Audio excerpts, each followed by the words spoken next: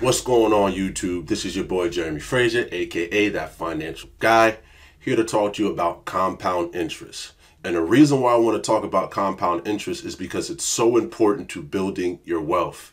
All of the rich people take advantage of compound interest. And compound interest is essentially when you deposit your money into an asset that accrues over time. And depending on that amount of time will depend on the amount of interest you can get off of that. So for instance, there's many different kind of assets that grow compoundly. And some of those assets can be a savings account, it can be a 401k, it can be ETFs, mutual funds, and it can be your personal stock portfolio, anything that's accruing interest and accruing it in a compounded way can be a benefit to you to build your wealth. So back here on the whiteboard behind me, I'm going to give you guys an example to kind of help explain how compound interest can be a benefit to you in increasing your wealth. So let's take a look at the whiteboard here and get a simple example of compound interest. Uh, here are the different variables and components of what makes up the formula for compound interest down here in blue. And A is for the final amount P is for the initial principal balance. This is the money that you deposited into your asset to start accruing interest. R is the interest rate. This can be 5%, 10%, 1%, half percent, uh, depending on the type of asset that you are utilizing, your interest rate will vary. Then you have the number of times uh, interest is compounded over a certain period of time. Uh, that can be some semi-annually, it could be annually, it could be monthly, daily, um, and that will affect how much interest you get. And then you have the number of time periods that elapsed. So are we looking at one year, two years, 30 days, and etc. And I just want to use a simple example. Let's think about it this way. Let's say you have $10,000 in your savings account. Right now, savings interest rates are trash you'll barely get a half a percent interest yearly with your savings account. So with that being said, you're getting a little under a hundred dollars in interest a year off of ten thousand dollars in your savings account. So let's say you're like, I need to figure out a way how I can increase my wealth because this savings account ain't it.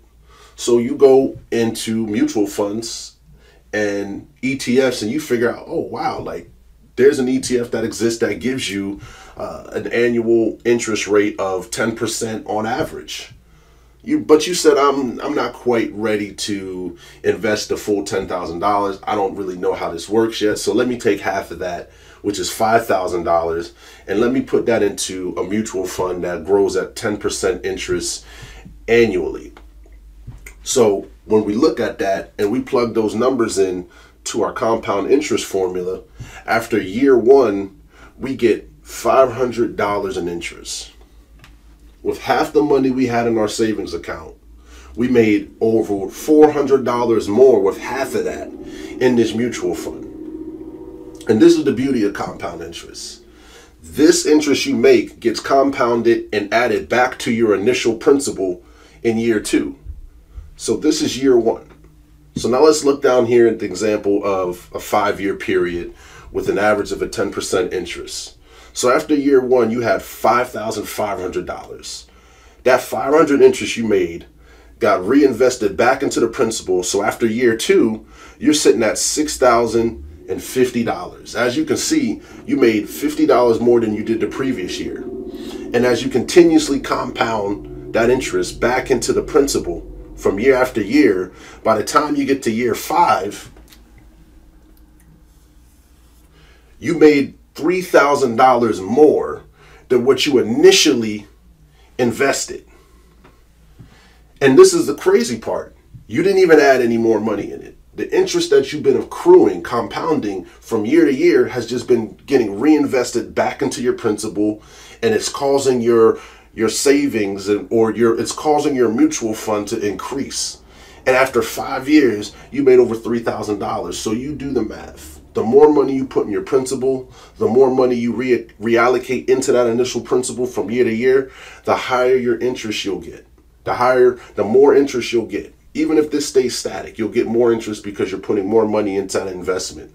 And this is the beauty of compound interest, and this is the beauty of asset building. When you build an asset that's compounding like this from year to year and putting extra money back into your principal, you will eventually become wealthy.